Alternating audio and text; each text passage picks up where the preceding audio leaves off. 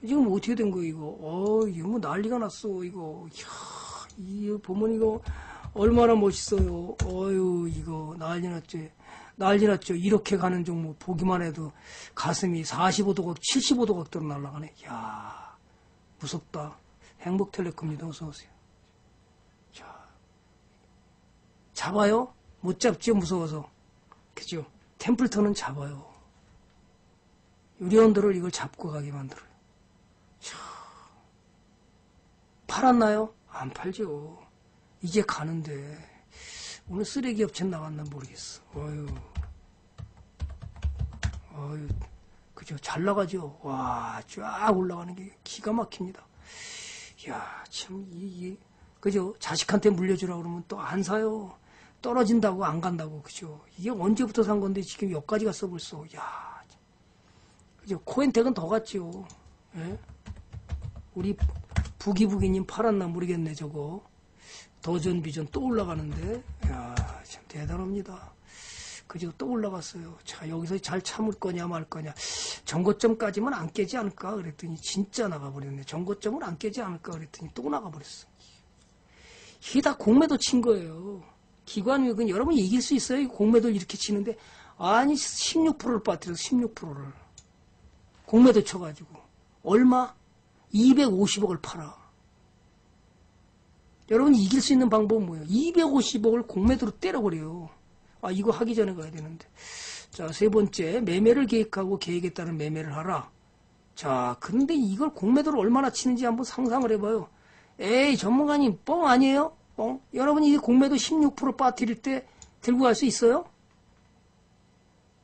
못 들고 갈 거요?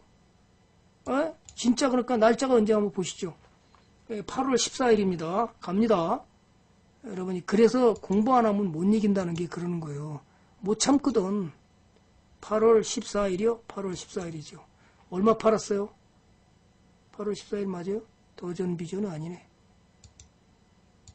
도전 비지원이 와야지. 8월 14일. 그죠? 자, 보이시죠? 252억.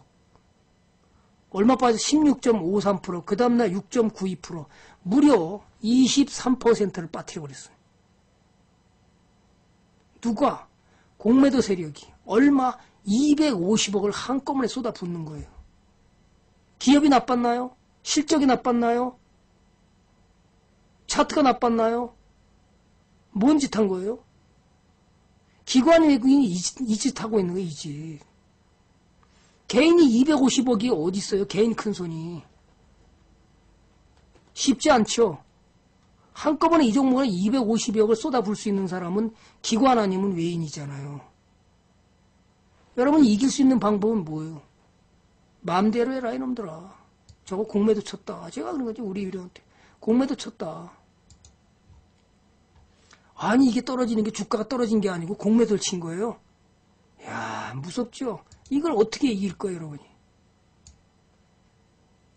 글쎄 여기 멈추지 않을까? 전고점에서 그죠?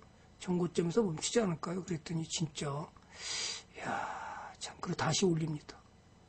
정말 무섭습니다. 그러니 여러분이 이런 걸 이길 수 있는 방법은 좋은 기업 사서 떨어지든 말든 그죠? 우리 윗뿡뿡이 아빠님 아직 갖고 있나요? 아내 거는 아직 들고 있다고 그러는 것 같은데. 이 공매도가 이렇게 때릴 때 여러분이 제가 왠가 이 기업이 나쁜가 기업이 좋은 기업인가 분석을 해보고 아, 아무 이상이 없는데 그러면 왜 떨어진 거냐? 아무 이상 그러면 공매도 쳤구나. 나쁜 놈들. 여러분이 조사해보고 아 안 팔아도 되겠군. 지네도 또 올리겠네. 그죠? 또 올리겠네. 왜요? short covering이 들어와야 되잖아요. 그러면 여러분 어떻게 해요? 마음대로 해 나 안 팔 테니까 팔으셨어요 뿡뿡이 아빠님 무서워서 예, 그래서 좋은 종목이 갈 때 참 여기서부터 매수해서 간 게 지금 벌써 여기까지 갔다는 게 상상이 됩니까? 여러분 아무리 안 팔아도요 그냥 들고 있어도요 지, 수가 말해도 벌써 400% 391%가 났습니다. 500만 원 담았어도 벌써 얼마예요? 400%를 벌었으니까 예? 2천만 원을 벌고 있는 거예요. 뭐 주가가 아우성 치고 난리 쳐도요 그냥 간다. 나는 주봉을 보고 주봉이 갈 때는 사정없이 간다. 아, 주봉이 보니까 그죠? 예, 팔았어요. 여기서 어, 요걸 한 번 안 봤죠? 공매도. 공매도 확인 안 했죠? 네, 공매도 확인. 그래서 이게 공부가 돼서 이런 걸 알아야 되는데, 쟤네들 또 시- 장난치는구나. 템플턴은 뭐라 그래? 또 저놈도 장난치는구나. 딱 그래 버리는 거예요. 참, 무섭죠. 이게 기관 외국인이 장난친 거예요. 그 앉아서 이거 250억을 파는데 얼마 챙겨요, 돈을요? 251억을 팔아서 대충 계산, 확실한 건 아니에요. 대충 계산해 보니까 한 45억 정도로 챙기더라고. 250억 때려서 45억을 챙겨. 여러분은 하겠어요, 안 하겠어요? 무서운 일이죠. 템플턴은 다 보고 있으니까 니네도 장난치냐? 그죠? 장난치지 마. 제가 만약에 돈이 천억이 있었으면 이거 뒤집어 버렸죠. 그냥 놔뒀을까요? 내가 들고 갔으면 거꾸로 250을 다 사버리지. 아마 놀래서 뒤로 자빠졌을 거야. 그죠? 공매당으로 먹으려고 그러는데 저걸 눈치채고 거꾸로 더 사버려. 어떡할 지금? 그러면 지네들 취소할 수밖에 없잖아요. 야, 개인이 그냥 다 사버리는데. 아, 안 되겠다, 야. 얼마까지 버팅길 거야? 그래? 니네 500억 팔아? 그럼 내가 1000억 있으니까 500억 사주지. 아마 얘들 뒤집어져가지고 놀래가지고요. 뭐 저런 인간이 다 있냐. 그죠? 템플턴은 아니까 딱 보고서, 어? 저거 공매도 장난치네? 저놈들, 나쁜 놈들이네. 250억 계산해봐요. 주식 공매도량이 40만 주예요. 그러면 12,300원까지 계산 필요도 없어. 40만 주에 만 원만 챙겼다고 그래도 40억이야. 어마어마하게 돈을 챙기죠. 이걸 보는 순간 얘들은 꼭 장난치는구나. 나쁜 인간들. 여러분이 이걸 이길 수 있는 방법은 뭐예요? 비중을 지키고 맞짱 뜨는 거. 비중을 지키고 맞짱 뜨는 거예요. 여러분은 이렇게 했다 떨어지면 다 손절해버리죠. 아, 전문가님 손절. 아, 빨리 손절해, 손절해. 16% 빠지니까 큰일 났어. 빨리 손절. 손절 나갑니다. 아이고, 더 먹을 줄 알았다가 손절하고. 그죠? 열건님도 어서 오세요. 자, 이런 것이 여러분이 공부가 돼야 돼요. 오늘 또 이게 잘 나간다고 뭐, 엣지폰 만든다고 그래. 아직 추천 안 나와. 지난번 팔았는데 오늘 정지됐던데. 시노펙스. 상장 실질 심사 걸려 들었다고. 정지. 아, 이게, 이게, 이게 급등 나간 거거든요. 종목을 이해를 못하면 안 됩니다. 파생상품 만져가지고 얘가 상당히 어려워서 우리가 여기서 잘라 먹었는데 그리고 살뚱말뚱 살뚱말뚱 하다 안 샀어요. 스마트폰에 삼성전자에 납품했다고 스마트폰에 보면 여러분이 엣지 기술 있죠 요거 요거 요거 누르는 거 그죠? 이 기술을 해서 삼성전자 납품했다고 그러더니 삼성전자 납품한지 LG전자 납품한지 아직 나오진 않았어요. 그랬는데 이 기술을 개발해서 일본에서 전량 수출 수입을 했는데 이것을 예, 물도 안 들어가게 완벽하게 만들어서 납품했다. 그래갖고 이거 상한가 나간 겁니다. 살까 말까 지금 망설였는데 오늘 상장 실질 심사들 정지됐어요. 그래서 안 살, 당연히 안 사죠? 템플턴 식구는 안 사죠, 그러면? 자, 여러분이, 자, 종목을 보는 눈, 그 다음에 뭘 해야 되는지, 그래서 계획을 매매하고, 그죠? 어, 계획에 따른 매매를 하라. 매매를 계획하고, 매매 계획도 없이 투자해서 이기려 한다면, 설계도 없이 집을 짓는 것과 똑같다 그러죠. 치명적인 실수를 저지를 수밖에 없다. 매매 계획은 단지 자금 관리와 진입 규칙을 자신의 매매 기법에 엮는 작업이다. 아주 어려운 시기에 닥쳤을 때 매매 계획은 고수하기 어렵죠. 절제력이 필요한 것은 우리가 효과적인 위험 관리를 위해서도 투자할 때 흔들리게 만드는 것을 우리가 투자 원칙이 있으면 흔들리는 걸 막아주는 거예요. 나쁜 습관에서 매매 습관에서 자유로울 수는 사실 없어요. 쉽진 않죠. 그러나 우리는 끊임없이 여러분이 게을러지고 느슨해질 때 우리 의원이 정관님 아 1년 저 1년 지났어요. 다시 공부하러 가야 될 것 같아요. 아유 다 까먹었고요. 이제 감각을 좀 익히려고 다시 좀 왔습니다. 이런 분이 꼭 있어요. 1년에 한 번씩 들어오십니다. 전문가님 다 공부하러 다시 왔습니다. 감각이 떨어져서 또 좀 배우고 갑니다. 그 또 들어옵니다. 자 이런 것이 여러분이 왜 인간은 망각의 동물이라 다 배우고 나면 다 까먹어요. 그죠? 그것은 그걸 안 까먹기 위해서 예, 노트를 정리하고 자기 나름의 원칙을 만들어 갈 때 여러분이 확실하게 이제 머리에 각인이 되죠. 각인이 되면 저절로 나옵니다. 템플턴이 저절로 나오듯이 여러분이 각인이 되면 저절로 나옵니다. 그러니까 영어 선생님이 딱 10번만 성문종합령을 가리킨다고 해보세요. 그럼 나중에는 앵무새가 돼버립니다. 몇 페이지에 뭐가 있고 뭐가 어떻게 돼서 강의할 때마다 똑같아집니다. 템플턴도 그렇습니다. 저 사람이 왜 이렇게 영어를 잘 가르치나 봤더니 여러 번 강의하다 보니까 저절로 외워진 거예요. 이게 반복 학습의 효과죠. 무서운 일이죠. 근데 사람들은 대부분이 반복 학습을 싫어합니다. 그러니까 못 이기는 거예요. 우리는 이기는 길은 반복 학습보다 더 좋은 방법은 세상에 없어요. 최근에 제가 재밌는 일을 한번 봤어요. 북한에서 어, 그 이만갑에 나오는 건데 북한에서 왔어요. 형님이 돈을 잘 벌어요. 북한에서 둘이 형하고 둘이 왔는데 동생은 그야말로 북한에서 싸움꾼이었었대요. 공부도 안 하고요. 머리가 좋은지 어쩐지는 뭐 일단 둘째 치고 가네. 그래갖고 그런데 우연히 여자를 만났어요. 근데 너 여자가 너무 이쁘더래요. 아니 이제 스물한 살인가 그런데. 그래서 그 여자 결혼하고 싶어서 이제 차를 태웠대요. 차를 태워갖고 너 나 사귈 거안 사귈 거. 안 사귀면 나가서 그냥 차를 갖다가 한강으로 뛰어들어간다. 그래갖고 막 그냥 옆으로 막 그죠? 범버로 막 긁고 막 부딪히니까 여자가 사귀겠다고 승낙 그러더래요. 그죠? 그래가지고 그러면 집에 가서 장인 될 사람한테 참 재밌어요. 저도 들어보면서 가서 승낙을 받아야 했다고 딱 가서 같이 식사를 했대요. 장인 될 사람. 당신 어, 집이 어딘가 그래서 북에서 왔습니다. 이렇게 북? 아 부산 좋지. 그죠? 아 그랬는데 아니 그게 아니고요. 북한에서요. 북한에서? 깜짝 놀랄 거. 그왜 그런 얘기를 해주냐면 이 사람이 한의사를 공부하고 있었어요. 검정고시를 해가지고.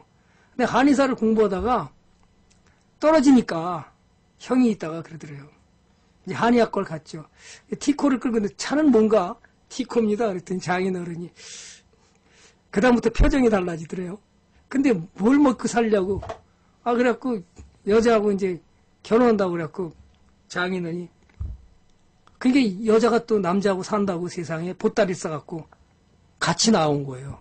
그 아버지 장인어른이 뭐래요? 너 호적 파버린다고. 아니 딸을 키웠더니 이게 남자를 만나더니 세상에 아버지도 버려. 이게 이게 진짜 그래요. 여러분 안 그래요? 아 진짜 둘이 좋아하면 그럽니다. 그 빨리 아버지가 승낙을 안 하니까 북한 사람이라니까 뭘 먹고 살아. 지금 공부 안 되는데.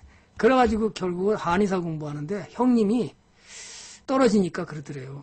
책을 그렇게 공부를 하지 말고 1페이지를 10페이지씩만 공부해라. 10페이지. 딱 10페이지만 공부하라고 그러더래요. 더 이상 욕심내지 말고 어떻게 10페이지 공부하고 끝내고 몰라도 넘어가라. 알라고 하지 마라. 그냥 읽어라. 그 다음에 20페이지 가면 20페이지까지 읽는데 10페이지, 1페이지부터 다시 20페이지. 30페이지 가면 다시 1페이지부터 30페이지. 무조건 읽으라는 거예요. 책 한 권이 끝날 때까지 이렇게 10페이지씩 늘려갔다는 거예요. 또 10페이지.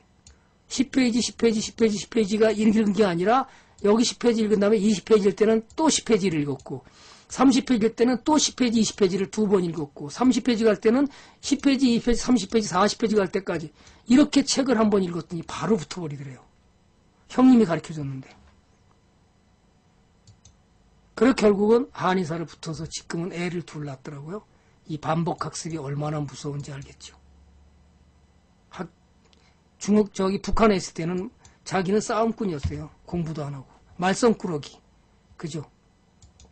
그러니까 여자한테 당신 아니면 내가 죽는다. 당신하고 둘이 그냥 해서 빠져 죽을 테니까 승낙할 거냐 대, 대단하죠. 지금 세상에도 그런 사람이 있긴 많죠. 또 그죠? 투자 종목을 그래서 우리는 선택할 때 어떻게 해야 돼요? 수많은 자료를 보고 공부를 하지요. 막상 컴퓨터를 켜서 주식 매매 시스템에 접속하려면 생각이 달라. 어, 주가 떨어졌네. 팔아야 되나? 출렁이는 주가 흐름 앞에서 자신의 생각이 계획된 모든 것을 까맣게 잊어버리고 딱 바뀌어버리는 거예요. 그죠? 초보자에서 더 그러죠. 공부가 된 사람은, 어, 참 차트가 좋네. 어, 매수 한번 해봐도 괜찮겠는데, 좋은 일 벌어지지 않을까? 그죠? 좋은 일 벌어지지 않을까? 예. 그죠? 좋은 일 벌어진 거다? 그러면 사보지 뭐. 그래서 불알 매수가라면 또 그냥 있는 대로 뭐죠? 있는 대로 질르고 봐. 그러지 말라 그래도. 그죠? 예, 그것이 투자하는 방법이에요. 어이, 많이 올랐다. 19포인트 올랐는데. 그죠? 음. 오늘은 19포인트 올랐는데 누가 올린 거예요, 다? 삼성전자 하이닉스가 다 올린 거예요. 삼성 하이닉스 많이 올라갔죠. 제가 제가 삼성전자 하이닉스 사라 그래요? 안 사라 그러죠. 자, 삼성전자 하이닉스, 하이닉스, 자, 바닥에서 얼마나 올라왔을까? 바닥에서, 자, 많이 올라왔습니다. 자, 2019년 1월 바닥입니다. 자, 얼마나 더 많이 벌었을까? 한번 가보자. 삼성전, 하이닉스가 하- 삼성전자보다 많이 오늘 갭 상승을 해버렸네? 40% 올라왔네? 템플턴은 누구 샀을까요? 템플턴은 원익이 샀지. 난 이거 사자 우리는 가지고 원익이 샀습니다. 너는 얼마나 줬을까 수익이? 자 바닥이라는데 바닥에서 얼마 줬나? 똑같은 바닥에서 샀는데 47%네. 그래서 삼성전자 하이닉스 납품하는 기업을 사라고 중소형 돈 잘 버는 기업을 사면 돈을 더 번다는 얘기를 했던 거예요. 삼성전자보다 그럼 삼성전자하고 하이닉스도 마찬가지죠. 삼성전자를 내가 샀을 때 바닥에서 에? 대기업이기 때문에 그래요. 너무 커져서. 중소기업은 달라지죠. 자, 바닥 쳤습니다. 지금 얼마까지 수익 났어요? 예, 삼성전자 22%입니다. 그러나 여러분은 하이닉스 살래요? 삼성전자 살래요? 아, 기업의 삼성전자가 100번 좋지요. 그런데 여러분이 좋은 주식이라는 것은 돈을 많이 버는 게 좋은 주식이잖아요. 그럼 하이닉스는 도대체 40%가 나가는 동안에 삼성전자는 22%라는데 아직도 삼성전자에 목매고 앉아 있어요. 뭘 사야 되는지를 몰라서 그러잖아요. 그러니까 끊임없는 뭘 해라? 백테스트를 해봐라. 끊임없는 뭘 해라? 시뮬레이션을 해봐라. 그러면 여러분이 보는 방법이 보이잖아요. 에이, 그런 걸 안 하니까 어떻게 해요? 수익을 크게 내질 못한다. 자, 또 갑니다. 그래서 우리는 이제 안 가면 내 종목이 안 가면 가파르게 상승세 급등 나가는 종목만 눈앞에 왔다 갔다 하고 그죠? 새로운 주식에 눈이 확 가고 내 건 안 가니까 그걸 참아야 돼. 참. 우리 유련이 1년 4개월 공부한 사람이 마지막에 한 얘기가 있어. 참 너무 있어. 템플턴 바에서 공부하더니 자 그럼 후배들을 위해서 하고 싶은 얘기 마음대로 해보세요 그랬더니 포트폴리오를 짜고 가다 보면 자기 종목이 안 갈 때 참 가슴이 답답하기도 하고 괴로울기도 하대요. 그런데 그걸 잘 인내하다 보면 내 종목이 갈 때 내 종목이 팍 올라가더라는 거지. 근데 그걸 참기가 너무 어렵다. 그래서 첫째도 인내요. 둘째도 인내다. 이렇게 얘기하면서 1년 4개월의 공부를 하고 예, 졸업했습니다. 먼저 사이트에 있을 때였죠. 근데 지금은 여기 왔는데 알 수 있는지는 모르겠어요. 여러분이 어떻게 투자하는 거예요? 그러니까 여러분이 청바지 사러 갔다가 백화점에 가서 멋지게 구두가 있으니까 어때요? 그 구두에 홀랑 넘어가서 구두를 삽니다. 그러니까 이런 월스트리트 격언 중에 이런 말 있죠. 시장이 당신을 좌지우지하지 하게 하지 말라. 매매 시간에 의사결정을 하지 말라. 매매를 계획하고 계획을 매매하라. 이렇게 얘기하는 겁니다. 정어리를 사러 갔다가, 그죠? 아니, 도미를 사러 갔는데, 아니, 이제 가족한테 이제 아내가 도미를 사러 간다고. 오늘 저녁 식사는 뭐야, 엄마? 그랬더니 엄마가, 아, 오늘은 도미 매운탕이다. 어, 그래요? 야, 오늘 저녁에 맛있게 먹겠네. 이 도미 매운탕을 새기려고 도미를 딱 노량진 시장에 딱 갔습니다. 도미 살라고 딱 그랬더니, 아, 옆에 생선 아줌마가, 하, 오늘 정어리가 끝내줍니다. 물이 너무너무 좋아요. 너무너무 좋아. 그래서 도미 살라고 그랬던 거를 마음을 바꿔서 정어리를 사갖고 들어온 거야. 아, 그래서 매운탕을 딱 끓였는데 사람들이 눈이 이만해 가족들이. 아니 도미가 아니고 왜 갑자기 정어리야. 아 아줌마한테 속았어. 아이 맛있는 저 도미를 사주지 말이야. 꼭 맛없는 정어리를 사주냐. 주식을 사기 전에 반드시 그래서 계획을 세우는 거예요. 현혹시켜서. 시장이 열리면 다른 곳에 한눈 팔지 말고 자신이 사려고 했던 계획했던 주식을 매수하라. 이해가 나요? 가요? 아, 그 사람은 그래서 도미 사러 갔다가 백화점에 가도 그러죠. 눈요기를 이렇게 하다 보니까 가만있어 봐. 저거 안 사도 되는데 아유 너무 좋아. 너무 좋게 보여. 사. 집에 와서 후회하죠. 그럴 때 여러분이 판단하는 방법이 뭐예요? 유혹을 당할 때 주식도 마찬가지예요. 유혹을 당할 때 무슨 생각을 해야 돼요? 이 종목이 과연 더 올라갈 수 있는지를 고민해 봐야 되잖아요. 아니 15만원 가는 거 30만원 간다고 그러면 그냥 SL트면 100만원 간다고 그러니까 30만원에 100만원 간다고 그러니까 그냥 갖다 질러. 정말 이게 갈지 한번 척후병이나 한번 내보내 보자. 저 사람 말이 맞을지는 내가 아무도 모르니까 내보내보고 아니면 자르면 되는데 일단 있는 대로 다 질러버려. 하, 전문가가 지난번에 뭐해서 어떻게 수익을 내줬고, 여기서 300% 내주고 어떤 1000% 내줬으니까 이 종목도 틀림없이 1000% 내줄 거야. 그래서 있는 대로 갖다 질러버리는 거예요. 그 말이 맞다. 5번 한번 눌러보시죠. 실제로 당해본 사람. 5번.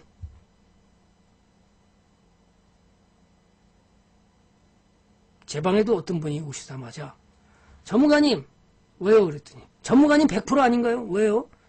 그런 게 어딨어요? 아 질러라 그래갖고 질렀대 1억을.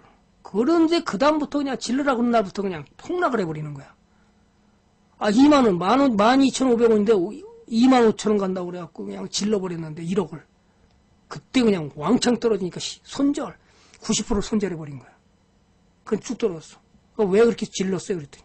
아, 전문가가 지난번에 300% 내줬으니까 이번에도 그럴 줄 알고 쫓아가서 질렀지요. 그랬더니 이번에는 완전히 떨어져갖고 박살냈습니다. 그 종목이 뭘까요? 여러분들이 자꾸만 그렇게 믿기 때문에 안 되는 거예요. 오, 보, 부, 반도체. 2만, 12,500원인데 이거 2만 5천원 간다고 그러니까 여기다 갖다 질러버렸는데 이날 그냥 장대 음봉으로 해. 쭉 빠지니까. 지금까지 갔어요? 지금까지 갔냐고요. 그랬더니 그분 하는 말, 왈 뭐라 그래요? 전에 300% 내준 종목이 있었거든요. 그럼 이번에도 300% 내준다고? 장담할 수 있어요? 그러니까 일단 내가 비중을 지켜서 사는 것이 주식 투자 3원칙만 지켰음들 이런 일을 안 당했지. 뭐 셀트리온이 뭐 얼마 간다? 300, 뭐 100만 원 간다? 예. 네. 그러니까 여러분이 갖다 질러버리잖아. 예? 100만 원 간다? 질러. 질러. 아니 여기서 16배 나 가 자기 가치에 비해서 16배 나 간 종목을 무려 16배 나 간 종목을 갖다 있는 대로 갖다 질러버린다는 거예요. 왜 그래요? 100만 원 간다고. 그죠? 제대로 알고 공부하면 아 저렇구나. 자 공매도가 수도 없이 흔들기도 하고 여러분을 힘들게 하기도 하고 무진장 그렇습니다. 그럼 여러분이 이기는 길을 가야 되기 때문에 그것을 이기기 위해서는 비중의 세 가지 투자 3원칙을 지키라는 얘기라는 거예요. 비중의 원칙. 그냥 있는 대로 몰빵을 하면 돈을 많이 버는 줄 아는데 천만의 말씀 만만의 콩떡이에요. 여러분이 이겨내지를 못해 이렇게 떨어지면. 그 100만 원 간다니까 질러버리죠. 30만 원에서. 기업의 가치가 얼마나 고평가됐는지 생각은 안 해요. 그 말이 맞을까 과연? 그러면 내가 그저 100만 원만 샀다가 잘못되면 뭐 그때 가서 손절해도 되고 다시 많이 떨어지면 다시 사지 이렇게 생각을 해야 되는데 있는 대로 갖다 1억을 갖다 몰빵 3억을 갖다 몰빵해버리는 거예요. 강남의 PB센터 가서 3억을 몰빵 5억을 몰빵한 때가 언제냐면 우리 유련이 아는 언니래요. 이 자리에요. 하늘자리님 어서 오세요. 이 자리에서 얼마 질러? 3억을 질러. 아, 5억이구나, 5억. 지점장님이 뭐 3억을 질렀다니까 자기도 5억을 질렀대. 이거 어떻게 됐어요? 마이너스. 죽을 맛이지. 강남 PB센터. 지금 아마 울고 있을 거예요, 전부 다. 왜 질러요? 그럼 5억이면 5억이면 20종목만 사면 되잖아요. 5천만 원씩 20종목. 그 다음에 5천만 원을 분할 매수하면 되잖아요. 그랬으면 지금 무슨 일 떨어졌냐? 어, 다른 종목에서 올라가주면 이건 무 떨어진 건 무슨 상관 있어요? 그냥 있는 대로 다 질러서 한꺼번에 뭔가 해보려고 그러다가 그래서 전문가님 종목이 뭐 그저 몇 종목만 찍어주세요 몇 종목 딱 제가 저한테 열 종목만 찍어주면요 내가 10년 들고 갈게요 천만의 말씀 만만의 콩떡이다 10년 들고 가? 이야, 우리 유라원더 씨가 진짜 설문조사를 해봤어요 자 나는 3년 들고 갈 사람 3년 2년 들고 갈 사람 2년 5년 들고 갈 사람 5년 여러분도 한번 해볼까요? 나는 한 번 샀다 그러면 3년을 들고 갑니다. 3자 쓰시고요. 5년 들고 갔으면 사람 5년 5자 쓰시고요. 나는 10년을 들고 갔으면 10자 쓰시고요. 나는 6개월 뿐이 못 들어갑니다. 그러면 0.51, 0.5 한번 써보시죠. 얼마나 들고 갈 수 있는지 여러분 조사해 보겠습니다. 한번 채팅창에 한번 써보시죠. 에이 나는 그렇게 못 들어갑니다. 우리 유리원들을 해봤더니 다 평균 2년이야. 평균이 2년이야. 못 들고 갑니다. 장부자님 1년이래. 못 들고 가요. 부자는 몇 년 들어가요? 피터 린치가 뭐라 그랬죠? 수익이 나기 시작해서 큰 수익이 나기 시작하는 건 3년이래. 3년을 들고 갔더니 뭔 일이 벌어지더라는 거지. 피터 린치 얘기입니다. 그죠? 피터 린치. 여러분 들고 갈 수 있어야 돼요. 시장 상승할 때. 그런데 조심해야 되죠. 2020년은 조심하세요. 2020년. 어디서 블랙스완이 올지 몰라요. 가장 지금 위험한 것이 세계 시장의 뉴스를 쭉 보다 보면 가장 도이치방크가 굉장히 위험한 것 같아요. 도이치방크가. 자, 미국의 리먼 사태 때문에 2008년에 박살났죠. 도이치방크가 굉장히 위험한 것 같아요. 자, 제가 미리 이제 얘기를 했으니까 그래서 경제가 굉장히 어려울 수 있어서 2020년에 그죠? 지금 우리나라 경제 침체는 이렇게 가고 있습니다. 2020년 아 제가 그래서 2020년에 대선이 미국 대선이 11월이니까 이전까진 트럼프는 어떻게든지 주식시장을 살리려고 애를 쓸 것으로 저는 봅니다. 자, 그럼 2020년 11월 지나고 나면 폭락할 수도 있고 어쩔 수도 있으니까 그때까지는 잘 지켜보면서 가시기 바랍니다. 시장이 만약에 전부 폭락으로 간다. 그럼 여러분은 어떻게 할까요? 다 팔까요? 아니요. 우량한 기업이 좋은 기업은 최소한 여러분들한테 50%는 팔고 50%는 내 돈 아니잖아요. 50%만 팔고 나머지 갖고 있다가 현금을 들고 있다가 대폭락이 오면 그때 어떻게 해요? 이렇게 지수가 대폭락이 오면 여러분은 그냥 돈 갖다 질러서 어떻게 해요? 주식을 막 주스면 돼.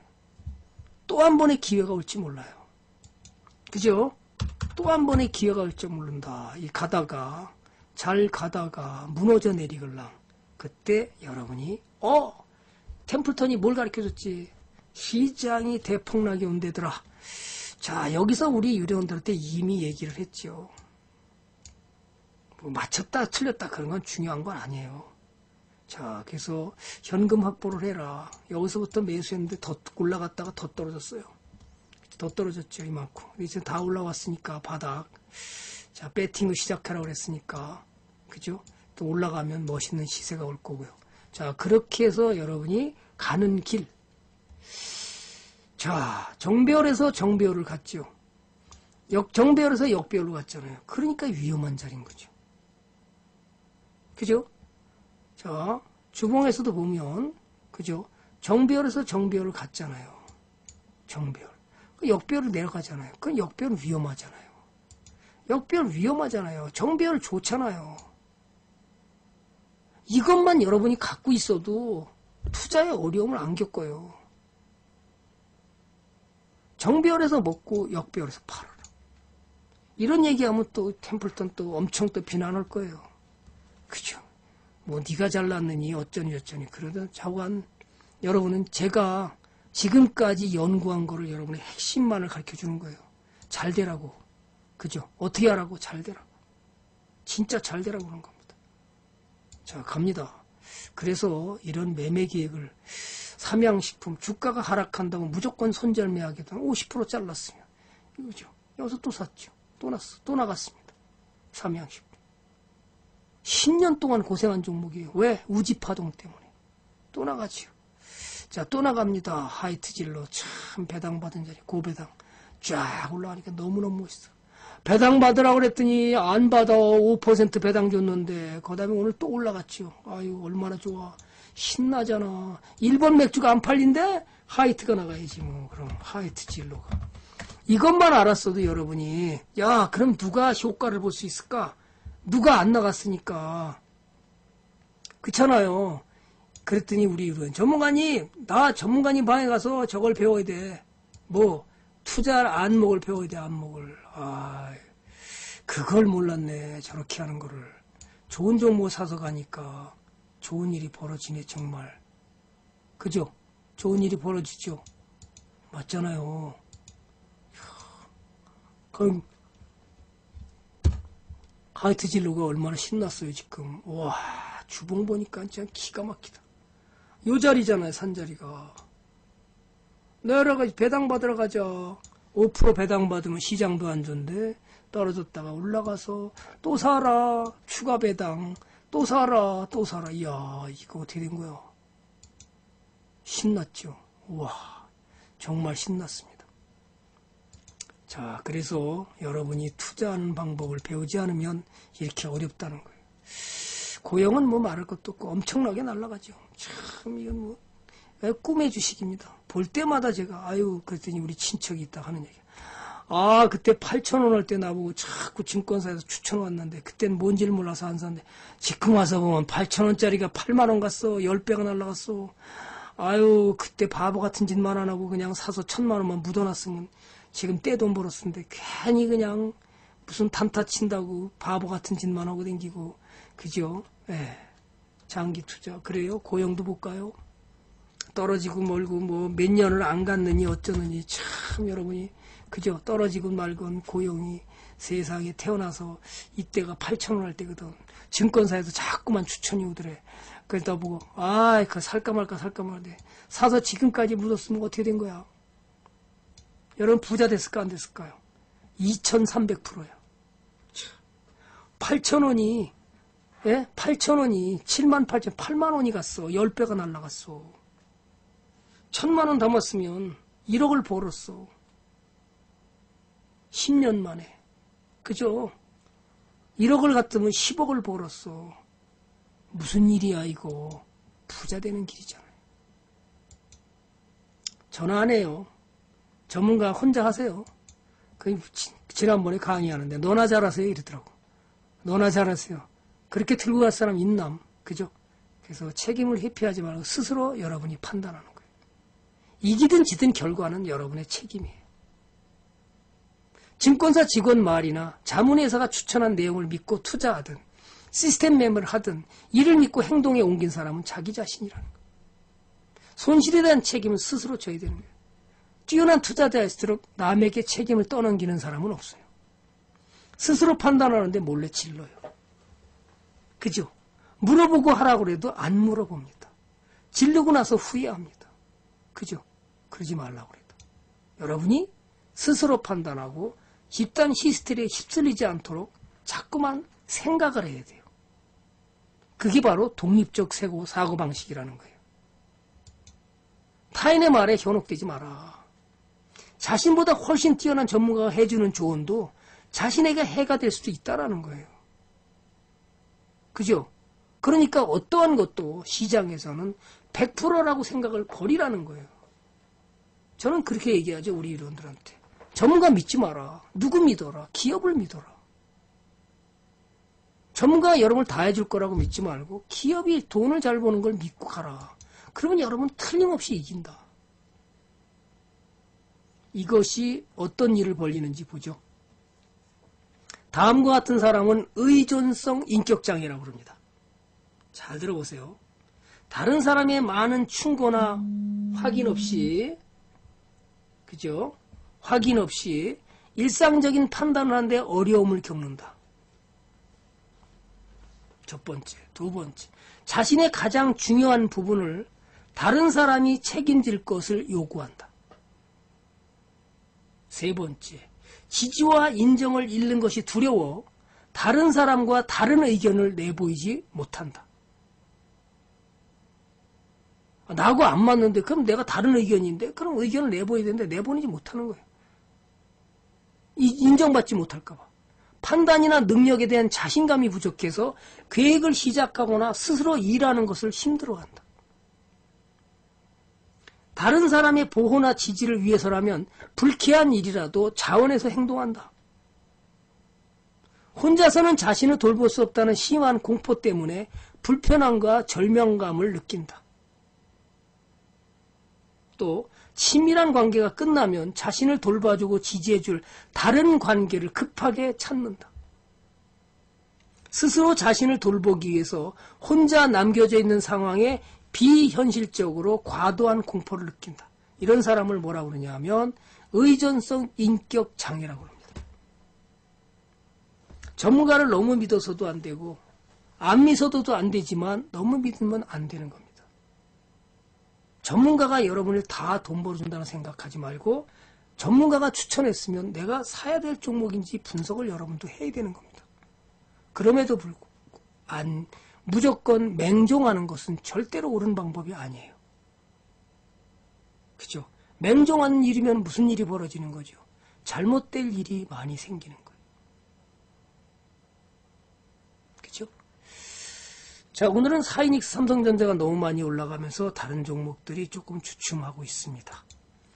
자, 그래서 우리는 종목을 사더라도 조광피역, 그냥 주식 농부를 믿고 여기서 있는 대로 질른 사람들은 이 사람이 워낙 지분을 많이 갖고 있으니까 내가 질러도 나는 돈 벌겠지. 이렇게 되면 안 되는 거예요. 자산 가치가 12배가 상승했음에도 불구하고 나는 공부를 안 했으니까 따라가서 사는 거죠. 누가 샀으니까 괜찮을 거야. 그런 게 어디 있습니까?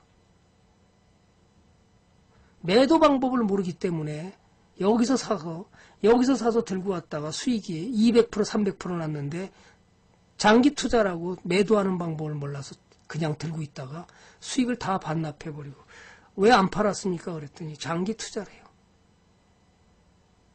그 매도하는 방법을 몰랐죠. 차트상의 고점이 점점 낮아지고 있는데 위험하다 위험하다 빨리 도망쳐라. 그냥 탁 한가 낭떠러지로 그냥 한꺼번에 떨어져 버렸죠. 무서운 일이죠. 그럼 누가 했을까요? 틀림없이 공매도 쳤죠. 그래서 하한가를 딱 떨어뜨리고 이렇게 떨어지고 나니까 또 신라젠도 마찬가지 공매도 딱 치고 나서 그걸 또 다시 사주지요. 그걸 short covering이라고 그래요. 신라젠 폭락시켜 놓고 이제 돈 많이 벌었잖아요. 하한가 3인방을 갔으니 얼마요? 하한가 3방이면 수익이 얼마요? 3방이면 90%가 아니라 125에서 128%입니다. 자, 상한가 3방 올라가면 128%가 나갑니다. 128%를 벌었으니 얼마나 떼돈을 많이 벌었을까요? 이제 사줄까? 사서 어떻게 갚아야지. 이게 바로 공매도입니다.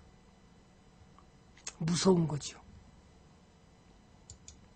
현대모비스 잘 갑니다. 잘 가. 오늘 현대모비스 더 나갔나 모르겠습니다. 현대모비스. 제가 유, 제 유튜브만 잘 들어도 예? 돈을 벌 수 있는데 현대모비스 오늘 떨어뜨렸나요? 제가 무슨 얘기를 했죠? 예. 현대차가 아까 예. 일본 7년 만에 일본을 눌렀다. 매출액에서. 또 두 번째 8년 만에 최초로 예, 금속노조와 현대차 노조가 파업을 중단했다. 중단의 효과는 얼마 나온다? 6천억이다. 그럼 6천억이면 현대차 실적은 3분기에 또 개선되겠네? 그러면 주가는 더 가야 된다. 가장 많이 납품하는 건 누구다? 현대모비스다. 따라서 실적도 개선되고 가니까 여러분 어떻게 돼요? 안 팔어. 좋은 일이 생길까요? 나쁜 일이 생길까요? 좋은 일이 생길 가능성이 높죠. 그러면 얼마나 살까요? 여러분 비중을 지키면 되잖아요. 이래도 못 사나요? 그죠? 비중을 지키면 되잖아요. 아이고 가만 있어봐. 나 비중 지켜서 좀 사볼까? 자 이렇게 여러분이 투자하는 방법이에요. 좋은 일이 생길 가능성이 크잖아요. 그냥 거기다 있는 대로 갖다 몰빵을 해가지고 그죠 돈 벌겠다고 그러니까 여러분이 다치는 거예요. 기업이 돈을 잘 버는 기업에 동업을 하는데 그죠?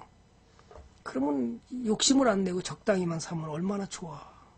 그냥 전문가가 100%라고 그냥 분할 매수하면 얼마나 좋아. 그냥 있는 대로 질러가지고 다 치워. 평화전공 잘 가는데 오늘은 떨어뜨렸나요? 조금 올랐네.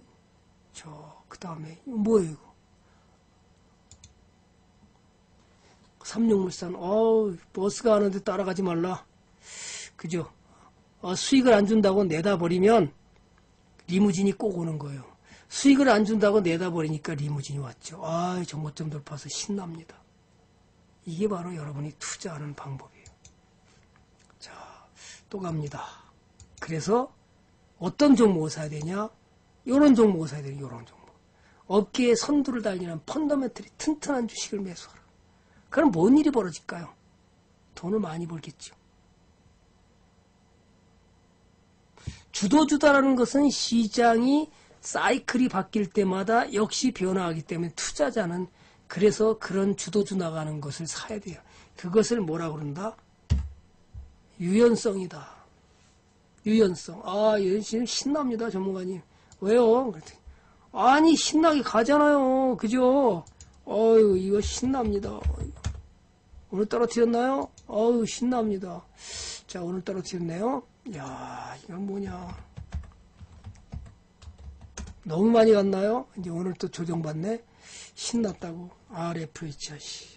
아유. 또 조정 들어오면 겁나지 또. 그죠? 자, 거리랑 터지면 조심해야 되죠? 거리랑 앉자 괜찮으니까. 자, 이런 것이 주도주. 가장 중요한 것은 매수하고자 하는 주식에 여러분이 펀더멘털을 연구해 보는 거죠. 이 기업의 펀더멘털이 좋아질까 나빠질까. 자, 현대차가 좋아질 수밖에 없었던 건 뭐예요? 자, 뉴스가 나온 게 7년 만에 뭐? 그죠? 7년 만에 뭔 일을 벌려? 음, 일본 자동차를 예, 매출액에서 늘렸다? 이겼다? 또 두 번째, 그동안에 8년 동안 파업을 하던 현대자동차가 파업을 멈췄다? 자, 파업으로 인해서 손실이 6천억인데 6천억을 세이브를 하고 간다? 어, 그러면 현대차 좋겠네? 자, 그죠? 현대차 좋겠네? 그럼 나는 현대차 사도 되지. 욕심 안 내고 적당히만 살래. 한꺼번에 안 사고 분할 매수하지 뭐. 여러분 이길까 질까요? 이길 가능성이 이길 가능성이 질 가능성보다 훨씬 크죠.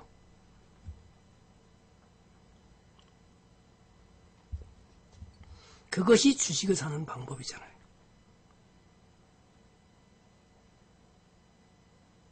그래서 윌리엄 원일은 주식 투자에 성공하려면 차트를 능숙하게 볼 줄 알아서 보다 적절한 시점에 적절한 선별할 수 있어야 되고 그에 선별한 주식에 뭐랜다? 기본적 분석과 그 주식의 펀더멘털을 연구하는 것이라고 말하고 있습니다. 그래서 유명한 캔슬림을 만들어서 주당 순이익이 매 주당 순이익 매출액이 25% 이상 상승하는 주식을 매수해서 큰 수익을 냈다. 여러분이 캔슬림을 배우긴 하지만 배우고 나서 뭐예요? 아무것도 그걸 활용하지 않죠. 나 캔슬림을 읽었다. 최고의 주식 최적의 타이밍을 나는 읽은 사람 7번. 안 읽었다 8번. 한번 눌러보시죠.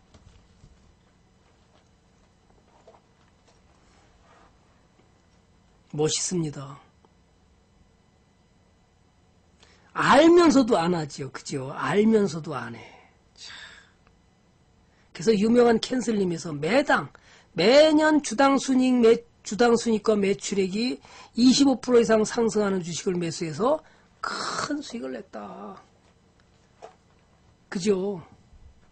근데 단기가 안 가면 단기적으로 주가가 안 가면 아유 그러면 안 가는 주식인가 봐 잘라버리죠. 첫째, 가치 투자에서 모든 재무 손익 비율들 중에서 투자자에게 가장 중요한 비율은 뭐다?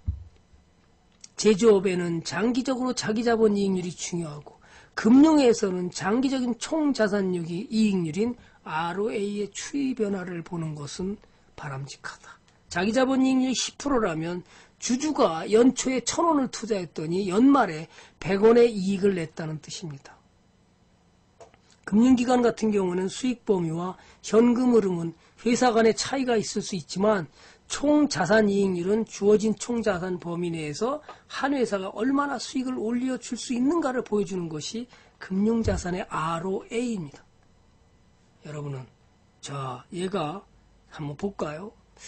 자 얘를 한번 재무 분석을 한번 가보겠습니다. 뭔 일을 벌리나?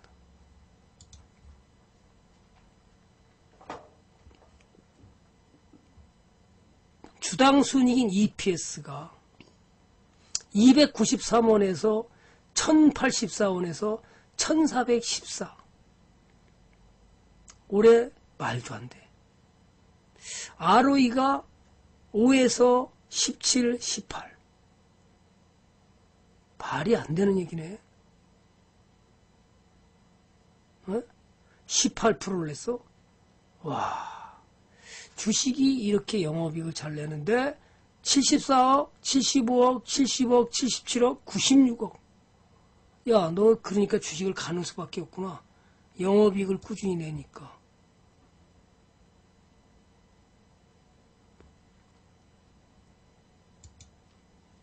주가가 날아가는 거잖아요. 참 멋있다. 그죠? 이러니 이걸 이기는 길로 가는 거예요. 통상은 그 또 재무 상태의 안전성과 다양한 비율 중에서 부채 비율이 업종 평보다 낮으면 좋다. 그래요? 나 통상 100%를 기준으로 삼죠. 그러면 그 이상이라고는 어떻게 돼요? 그 기업이 이장 감당 능력이 있느냐? 이자 보상 비율을 봐야 되잖아요. 한계 기업을 그러니까 저는 조심하라고 그러는 거죠. 어떤 기업? 3년 연속 이자도 못 내는 적자 기업. CW나 BW를 수시로 발행하고 대출을 위해서 자산재평가나 제3자에 유상증자를 밥 먹듯이 하는 기업은 여러분의 동업 조건에 맞지 않는 기업이다.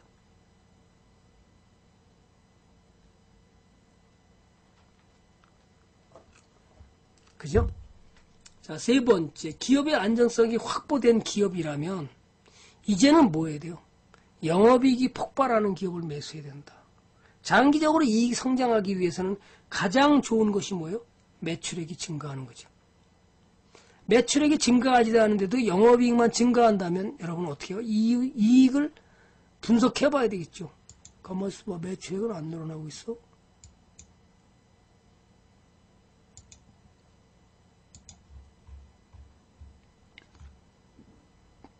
매출액이 꾸준히 질고 있, 늘고 있죠.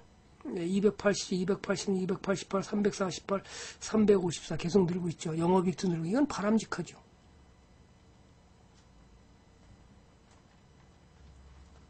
그렇지 못하다면 여러분 뭘 봐야 돼요? 원가 절감인지 원가가 더 늘어났는지 봐야 되잖아요. 안 봐. 네 번째, 영업 부분에서 실제로 발생한 현금 흐름을 영업 현금 흐름이라 영업상 현금 흐름이라고 그러죠. 현금 흐름이 좋다라는 것은 기업이 부도 위험이 없죠. 그죠? 자본 잠식으로 현금이 부족하니까 자산 재평가를 하거나 사채 발행이나 대출을 받는 기업도 조심하라.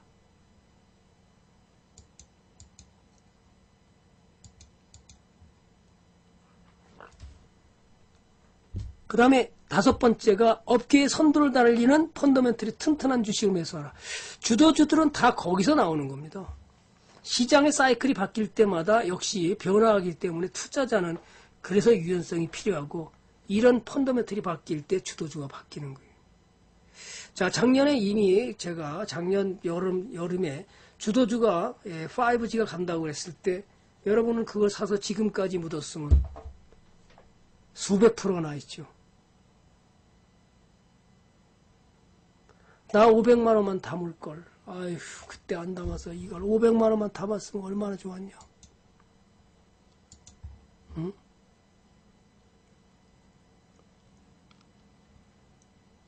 500만 원만 담았으면 얼마나 좋았냐. 에? 주도준데 390%, 아 500만 원이 거의 400%니까 오사이시 2천만 원 벌었네. 이야, 이 중요한 거를 안 벌었어. 발로 차버렸네. 그죠? 발로 차버렸죠. 맞아요? 에휴, 뭐, 뭐, 전문가님 얘기하지 마요. 속상하니까. 에이, 내가 그런 걸 들고 갈 수 있어야 되는데 들고 가질 않아가지고 다 날려버렸어. 여러분이 투자를 이런 전문가님 나 지금 주도주 없는데 어떡해요? 아유 참 급등주 나가지 마요. 따라가지 마세요. 그렇게 주도주라고 얘기했는데 아직도 못 썼어. 실제로 공부하면서도 이럽니다.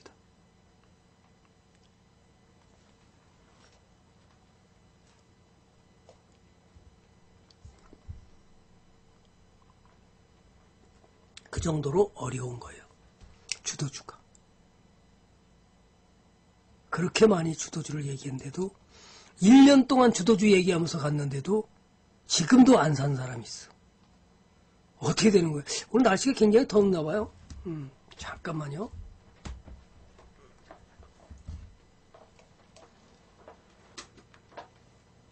그래서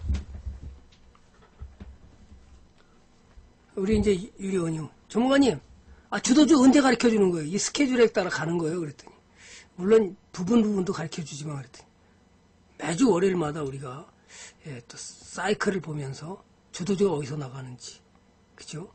그런데 아 전문가님 빨리 주도주 가르쳐 주세요. 주도주 주도주 어떻게 나가는 거예요? 이렇게 그래서 주도주 스케줄에 보면 제가 이렇게 강의관이 있습니다.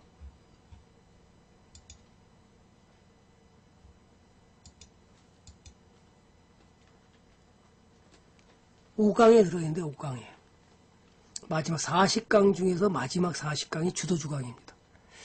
그래서 어떻게 홀로서기라고 평생 직장을 만들기 위해서 우리는 어떻게 해야 되나 그게 굉장히 중요한 거죠. 그죠? 주도주가 뭔지도 모르고 그죠? 그냥 오늘 또 급등 나간다고 그거 쫓아다니다가 깡통 내기도 하고 아유 전문가님 나 그 급등 나가도 쫓아다니다가 7,500 날렸습니다. 아유 나는 뭐 샀어요? 얼마 날렸습니다. 이게 수두룩합니다. 아유, 세상 편하네요, 전문가님. 좋은 종목 사놓고 그냥 있으니까 그냥 떨어지든 올라든 그냥 기다리니까 알아서 지가 올라오고요. 지가 떨어뜨리고 지가 그러더니 다 알아서 돈 벌어주네요. 아유, 마음 편합니다, 그래. 좋은 종목 샀더니 저축했으니까 뭐, 그죠? 걱정할 일이 뭐가 있어요.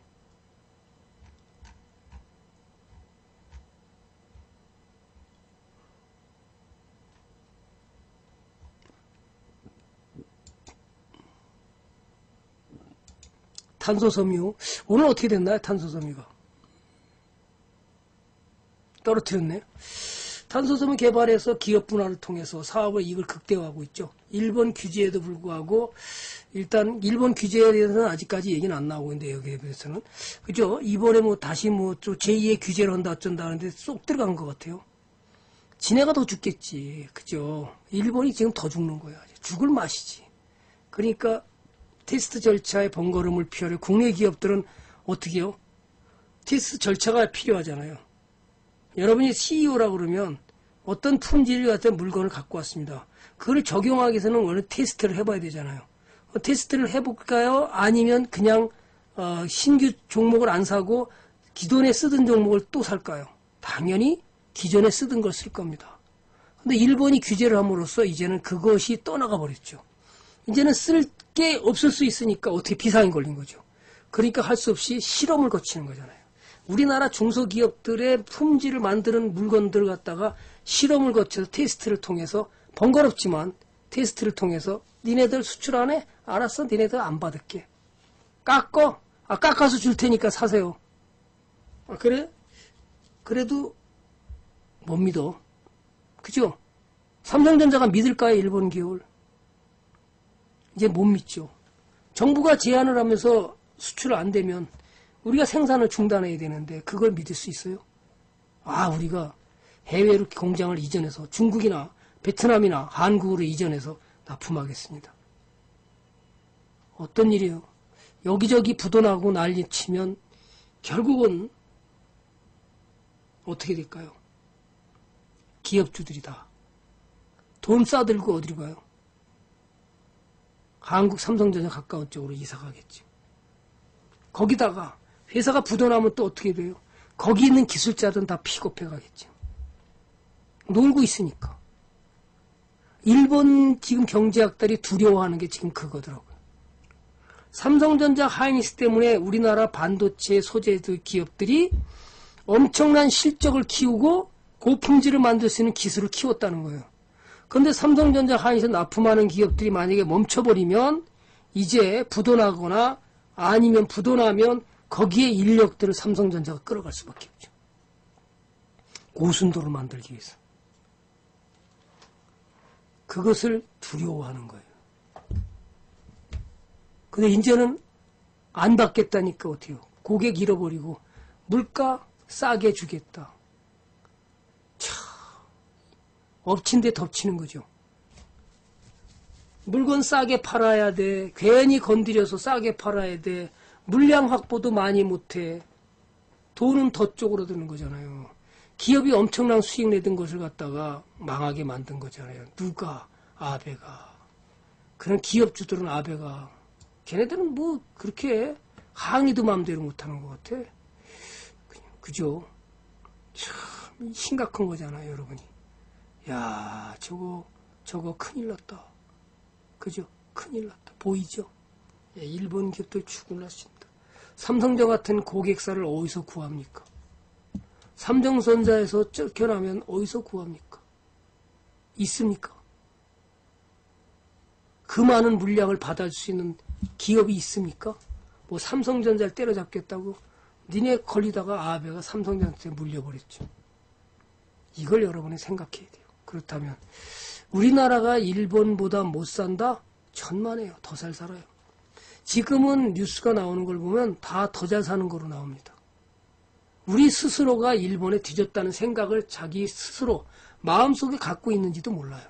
일본인들도 마찬가지예요. 항상 자기네는 한국보다 위라는 생각으로 깔본 거죠. 반대로 우리나라 사람들은 우리나라를 비하해서 아 우리나라 아직 일본 따라가려면 2, 30년 걸려 이렇게 생각하는 거죠. 그런데 지금은 옛날과는 판이하게 달라졌다는 사실을 여러분은 기억해야 됩니다. 물론 당장 타격을 받을 수 있지만 장기적으로 봤을 때는 훨씬 더 좋은 일이 벌어질 가능성이 높다라고 저는 평가하는 겁니다. 자, 그 다음에 갑니다. 그래서 효성이 이 탄소 섬유를 저는 우리 이름 보고 꾸준히 가져가라. 꾸준히 장기적으로 보유하면 좋은 일 벌어진다. 지난번에 이미 삼, 아, 어, 항공우주 카이하고 그 다음에 일산 저 일진 복합 소지하고 이것을 검사를 들어갔고요. 또 현대자동차도 역시 실험에 들어갔습니다. 테스트에 들어갔습니다. 그래서 금년 말 되면 다 끝난다고 그러는데 만약에 그렇게 해서 좋은 일이 벌어진다면 도레이 케미칼의 탄소 섬유를 살 이유가 점점 줄어들겠죠. 그럼 얘는 실적이 더 좋아져서 더 갈 수밖에 없죠. 그게 뭐다? 역시 이게 지금은 안 보이는데 나중에 보일 거예요. 그죠? 나중에 보인다고요. 그러면 그땐 늦어요. 이해하시죠? 그땐 늦는 겁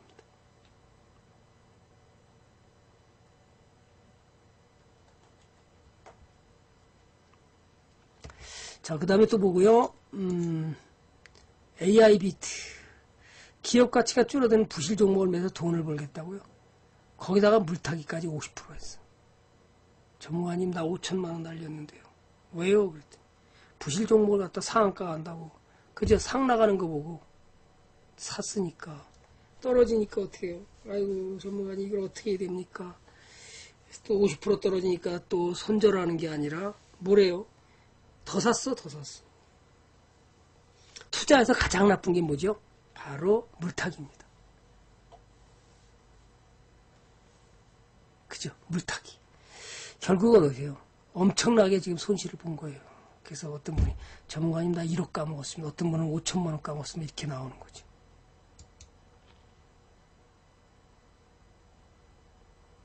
얘는 태어나서 한 번도 조정 없이 그냥 꾸준히 갔습니다. 대단하죠. 그래서 주도주는 함부로 팔아서도 안 되고 강력 보유로 맞서는 거예요. 강력 보유로 맞서야 여러분이 큰 수익이 나는 겁니다. 그죠? 그런데 그렇게 못하는 사람이 대부분이니까 문제가 되는 거죠. 또 봅니다. 고용은 봤으니까.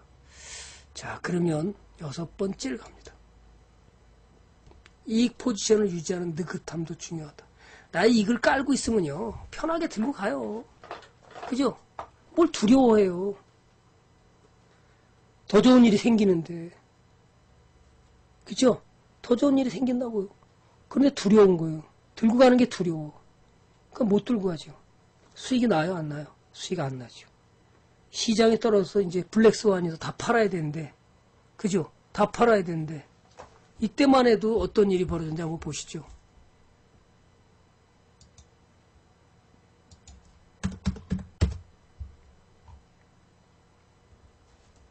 뭐라 그랬어요?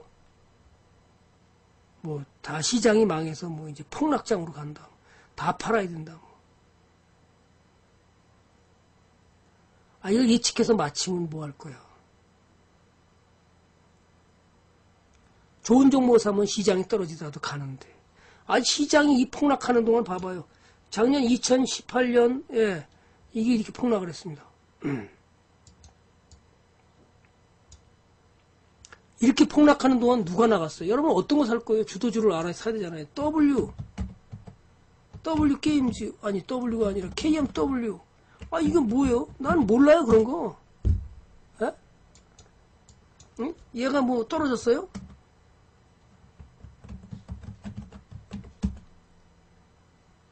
아니, 남들은 8월달부터 여기서부터 떨어졌는데, 이렇게.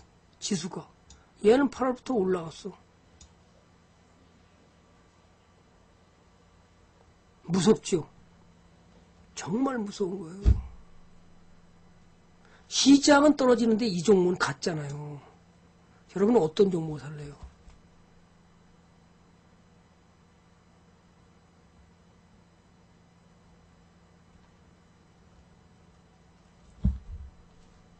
투자에서 이기는 길이라는 것은 계속 주도주로 가는 종목, 좋은 종목에 갈 때 그것을 매수할 수 있어야 되는 거죠.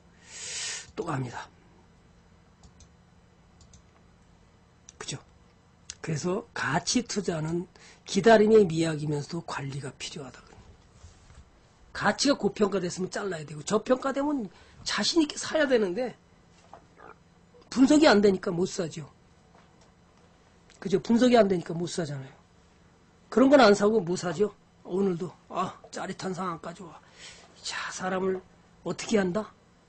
그래서 좋은 투자 기회를 기다릴 때도 인내가 중요하고 수익이 나고 있는 포지션을 유지할 때도 참을성이 중요하다. 그래서 에든 르페브르가 이렇게 얘기합니다. 어느 주식 투자 어느 주식 투자자의 회상에서 뭐라 그러냐면 내가 분석을 잘해서 수익을 많이 올린 것이 아니라 서둘러 팔지 않고 느긋하게 기다렸기 때문이다. 그래서 투자자들로 하여금 인내, 인내, 인내하라.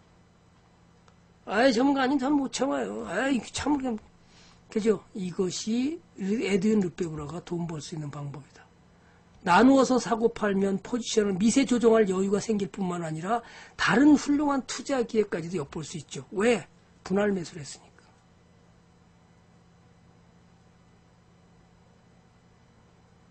그래서 분할 매수, 분할 매도 전략은 이익이 나는 포지션을 더욱 강하게 유지할 수 있기 때문에 여러분이 수익이 더 커지는 겁니다.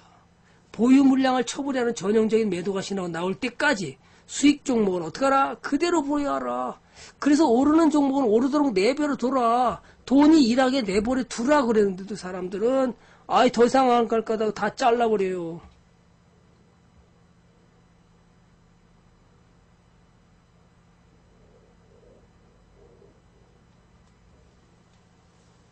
그래서 시장과 함께 움직이면서 매도 신호가 행동을 취하는 경고를 보낼 때까지 그래서 제가 그랬잖아요.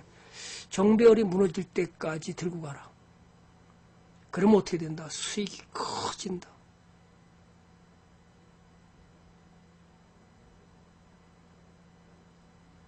그런데 그걸 안 사고 뭘 살라고 그러죠?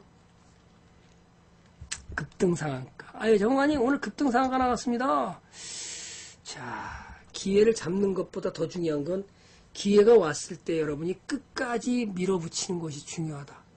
시장을 정확하게 바라는 눈도 필요하지만 자신이 판단이 옳았을 때 계속해서 포지션을 유지해 나가는 것이야말로 프로와 아마추어를 구분짓는 결정적인 자세다. 자, 인내를 가지고 얼마나 긁고 갔냐에 따라서 여러분이 프로와 그 다음에 아마추어의 차이다는 얘기입니다.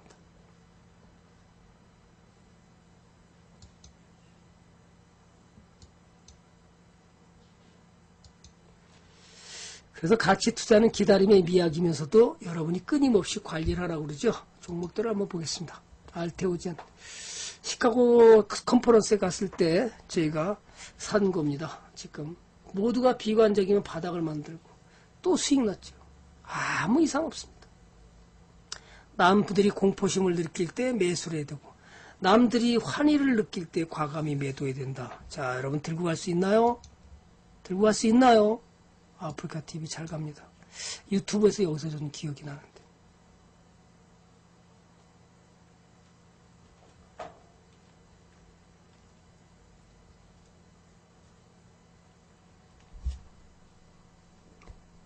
그래서 주가가 일정으로 올라가고 나면 다시 고점을 만두고 내려왔다가 다시 또 고점으로 올라가고 또 이렇게 해서 가는 겁니다.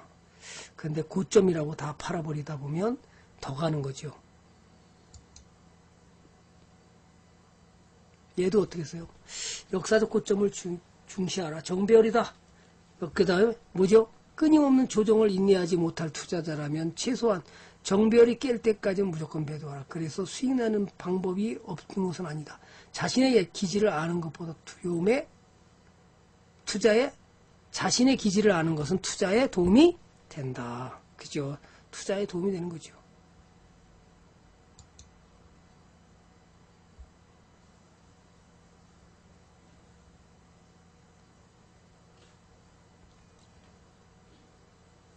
참, 월가의 격언이 있습니다.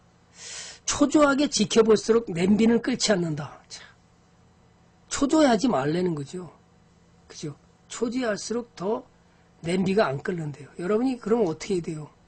이걸 이길 수 있는 방법은 역발상 투자를 해야 되죠.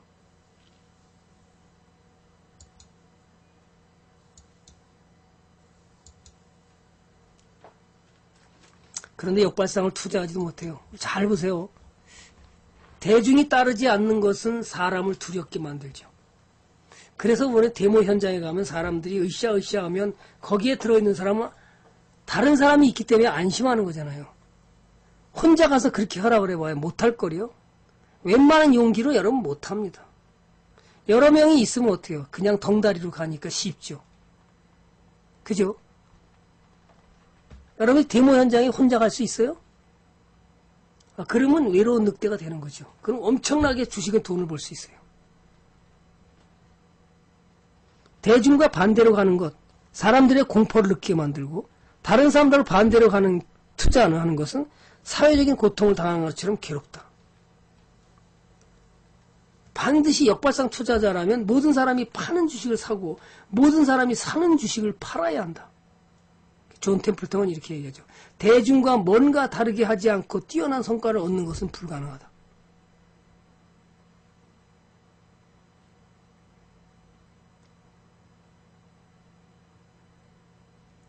그래서 케인즈 역시도 투자의 중요 원칙은 대중의 의견과 반대로 가는 것이다. 만약 모든 사람이 어떤 투자 대상의 가치가 동의한다면 그것이 너무 비싸기 때문에 매력적이 않다. 고통은 사람의 집단의, 집단의 의견에 공유하게 만드는 중요한 요소다. 그래서 고통을 받으면서 집단은 강력한 자기 강화 속성을 갖고 있고 이 집단에 속한 사람이 처음부터 극단적인 의견을 가지는 집단 쏠림 현상으로 발전할 수 있어서 집단이 위험하다는 거죠. 그래서 코스 닥이든 코스피든 시장은 외로운 늑대가 된다라고 필리피셔는 얘기하는 겁니다. 사람은 다 같이 있으면 안심하거든요. 그죠? 그게 왜 그런 거예요? 아니 안심한다는 보장에서 원시시대 맹수가 나를 우리 가정을 덮쳤을 때 여러 명이 있으면 안심하는 건가요? 그래서 인간은 원시시대부터 패턴을 좋아하게 됐다 그 얘기라는 거예요.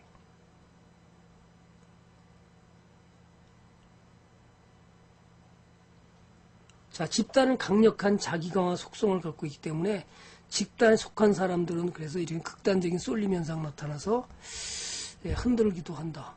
그래서 집단 사고의 극- 집단 행동의 극적인 예가 집단의 압력이 정신적 효율과 저- 현실적인 도덕적 판단을 약화시켜서 잘못된 결정을 내리게 되죠. 많이 여러분이 그 인터넷에서 보면 그런 얘기를 하죠. 어떤 그 사이비 목사한테 걸려들어서 수많은 사람이 휴거 왔다고 해서 자살 소동을 벌리고 진짜 자살하죠. 그게 뭐예요? 바로 이게 집단 사고지요. 휴거가 된다고 자살을 다 해버렸잖아요. 근데 휴거가 왔어요? 안 왔잖아요. 생사람 다 죽인 거잖아요. 자기의 생각을 남한테 심어가지고 얼마나 무서운 일이죠? 이래서 집단 사고가 무서운 거예요. 그 여러분의 주시장은 바닥과 천장에서는 언제나 뭘 해야 된다? 외로운 늑대가 돼야 된다. 그러면 추세가 상승할 때는요. 어, 기, 기관이나 외기나 개인의 대중들이 갈 때 같이 따라가는 거죠.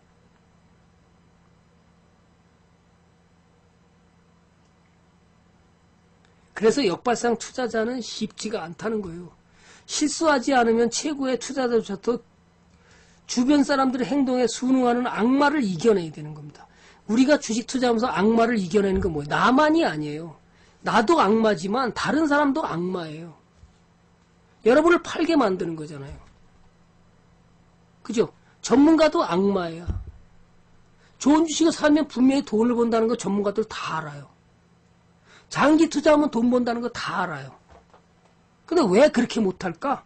수많은 전문가들이 바로 여러분의 심리들이 그렇기 때문에 못하는 거예요. 여러분이 그렇게 들고 가지를 못하기 때문에 못하는 거예요. 여러분의 심리가 그렇게 됐다고 그러면 수많은 전문가들이 지금 장기 투자를 권하겠죠. 장기 투자라면 분명히 돈 번다는 걸 알면서도 못하는 이유가 뭘까요? 여러분들이 성격이 그렇기 때문에 안 되는 거예요. 대부분의 사람들이 장기를 못 가져가니까. 그래서 이런 악마에서 벗어나기 위해서는 지배적인 지식에 반대할 용기가 필요하고 전문가가 너무나 유명하다고 거기에 지배적인 지식에 여러분이 반대할 용기를 낼까요? 반대 한 번도 못하지요.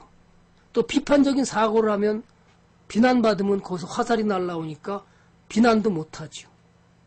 자신만의 원칙을 뚝심 있게 지키는 그래서 인내심이 필요한 거예요.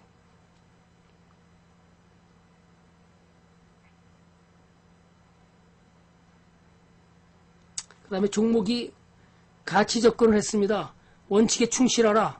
아, 내가 종목을 샀습니다. 그러면 증권사에서 보내준 종목을 샀을 때 여러분은 어떻게 해야 돼요? 이제 아직 어려서 예, 이제 새싹이 이제 돋아나는데 여러분의 심리는 그것을 이기기 위해서 여러분은 지배적인 지식에 반대할 용기가 있어야 돼요. 굉장히 어렵죠. 어떤 전문가가 이렇게 했다 그러면 그것이 100% 생각해서 그냥 질른다든지 이게 잘못됐다는 거예요. 지배적인 지식에 반대할 용기가 있어야 되는 거예요. 글쎄 자기가 볼 때는 저럴 거 아닌 것 같은데 그럼 어떻게 돼요 여러분? 그래서 분할 매수가 굉장히 중요한 거예요. 분할 매수가 굉장히 분할 매도도 굉장히 중요하다. 매수는 매도보다 100배 어렵다? 아니 매도는 매수보다 100배 어렵다. 맞을까요? 틀릴까요? 매수도 어렵다. 왜? 개인 투자는 사는 방법을 모르거든요. 그래서 이 수많은 악마한테 벗어나야 돼요. 여러분이 지금 옆에 있는 사람이 악마예요. 왜? 내를 주식시장에서만 그렇다는 거예요. 주식시장에서는 상대방이 팔면 나도 파니까 옆에 사람이 악마가 되는 거죠. 전문가도 마찬가지고. 이격 났으니까 잘라라 그러면 전문가가 악마가 되는 거죠. 이해가 가요? 맞아. 나로 하여금 뭐야? 팔게 만드는 거잖아요. 나 좋은 종목 안 팔아도 되는데. 그런 어떤 사람은 이제 막욕하죠. 하, 전문가가 우량 추천한데 뭐 10년을 공부했다, 20년을 공부했다, 지 말로 떠들더니 뭐 주가는 떨어지는 그 종목가 그렇게 공부했는데도 주가를 떨어지는 종목이나 추천하냐, 이걸 우량주라고 추천하냐, 이렇게 비난하는 경우도 많죠. 저는 그걸 보면서 무슨 생각을 하게 되냐면, 야, 그럼 본인 보고 한번 20년을 공부해 보라고 그러세요. 다 맞추나? 시장은 맞추기가 어려운 거예요. 다 맞출 수도 어떤 전문가도 다 맞출 수가 없는 겁니다. 그거를 본인 마음속에 깔고 있으면 그런 비난이 안 나오죠. 모르기 때문에 그 사람은 비난이 나오는 거예요. 왜 사람은 보고 싶은 것만 보고 보고 싶지 않은 거는 안 보게 돼요. 그러니까 비난을 하게 거예요. 내가 알면 아 그럴 수도 있겠다. 좋은 종목 추천했어도 못 갈 수도 있다. 이런 생각을 해야 되는데 절대로 그런 조차는 없다. 전문가를 100% 생각하니까 틀릴 수가 없다라고 생각하는 거죠. 그러니까 틀리고 나면 이제 어떻게 전문가를 비난하게 되고 여러분이 거기에 빠져서 또 어떤 사람은 몰빵 질르기도 하고 이런 것들이 돼서는 안 된다는 거예요. 악마에서 벗어나야 된다는 거예요. 자신만의 가치 접근법이 있어야 된다는 거죠. 주시장의 유행과 환상 그리고 빠르게 움직이는 돈을 계속적으로 쫓아다니는 여러분의 경주에 휩쓸리지 말라 그러는 거죠. 그래서 당신에게 필요한 건 뭐냐? 명석한 지생, 지성, 건전한 운영 원칙, 가장 중요한 확고부동. 좋은 주식을 확고부동하게 들고 가야 되는데 좋은 정보 샀는데 그냥 다 팔아줘. 아유 더 이상 안 갈 거야. 잘라버리죠. 여러분이 그래서 지는 겁니다. 하나 종목들을 보면서 10개, 9가지를 만들었는데 다 하기는 좀 아, 많이 힘드네. 그죠? 7가지만 하고요. 종목들 좀 보고 한두 개 또 질문 받고 그리고 공부를 해라. 정말 공부를 해서 올바른 길을 가겠다. 정석 투자를 배워서 어떻게 해요? 이번 이벤트를 사용해서 잘 활용해서 시장이 상승할 때 여러분이 또 돈을 챙겨야 됩니다. 이런 기회가 왔을 때 돈을 챙겨야 됩니다. 좋은 기업은 여러분을 부자로 만들어 주는 거예요. 그걸 못하면 또 기회가 또 상실돼서. 왜요? 지금 선택이 몇 년을 좌우하는 거예요?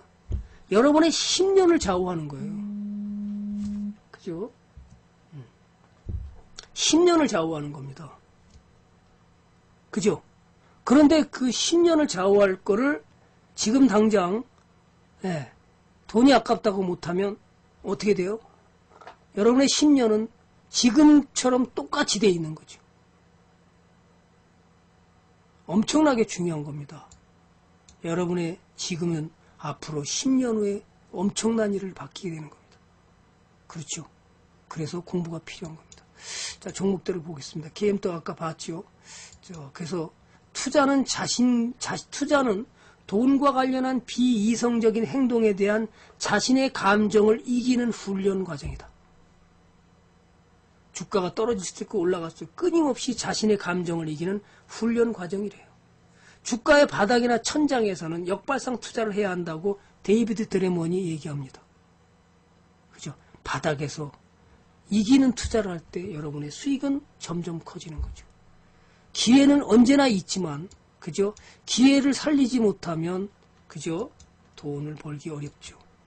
자, 유나이트 제약. 제가 지난번에 말씀드렸죠. 2006년 강남의 은마 아파트 가격이 16억 5천만 원이었다. 매도해서 6억 5천을 분당에 32평을 사서 살고 이 종목에다가 10억을 투자했다면 7배 상승이 나가서 여러분은 70억을 봅니다.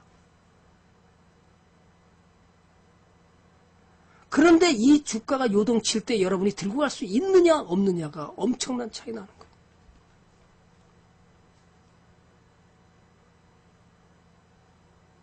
그죠? 엄청난 차이 나는 거죠. 아니 10년 동안 내가 그죠? 10몇 년 동안 70억? 여러분 70억 볼 수 있나요? 그죠? 못 보는 거죠. 그래서 중요하다. 또 갑니다.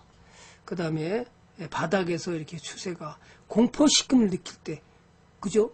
백두사님도 어서 오시고 공포심을 느낄 때 여러분이 역발상으로 보면 좋은 종목인지 아닌지 분석할 수 있어야 돼요. 그렇게 갔을 때 돈이 되는 거예요. 그죠? 자, 하나 더 보고요.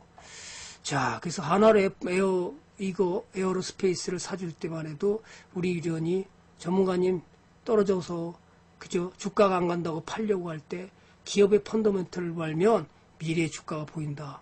역발상 투자를 어렵게만 생각하지 말고 차트보다 기업의 재무 분석과 업황을 분석해서 여러분이 들고 가면 정말 좋은 일이 벌어지는 겁니다. 그렇죠? 큰 수익을 내면서 여러분이 부자 되는 길은 그죠? 너무나 쉬운 거예요. 아, 가만히 있어봐. 나 여기다 그냥 사놓고 10년만 들고 가볼래. 뭔 일이 벌어지나. 주도주로 써먹지 않은 종목. 영업이익을 꾸준히 내는 종목을 여러분이 갔을 때 시장이 대폭락이 나왔어도 여러분을 부자로 만드는 사실. 그걸 잊지 말고 갔을 때 반드시 하고요. 진짜 공부가 필요하신 분은 어디에요? 예, 주식 투자를 아름다운 동행을 하라는 거예요. 제대로 된 투자 기회는 평생 투자를 여러분을 좌우하는 거예요. 당신의 평생 직업을 만들려는 거예요. 아직도 평생 직업이 안 된 사람들은 언제든지 환영합니다.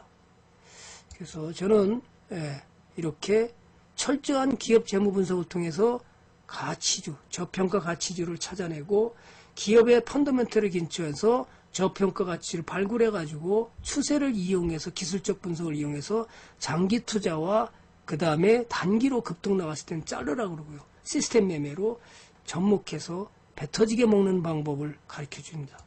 그것이 오전, 오후, 저녁 강의가 스케줄에 따라가는 것이 주도주 가는 방법입니다. 그래서 이 40강의가 정해진 겁니다. 여러분, 주식은 여러분의 평생 직업을 만들기 위해서 기회는 때가 왔을 때 잡으시고 확실하게 해서 멋진 수익을 내시고요. 또 이벤트를 해줄 때 활용하시면 싸게 가면서 공부할 수 있는 기회에서 수익을 많이 내시기 바랍니다. 모두가 행복 투자에서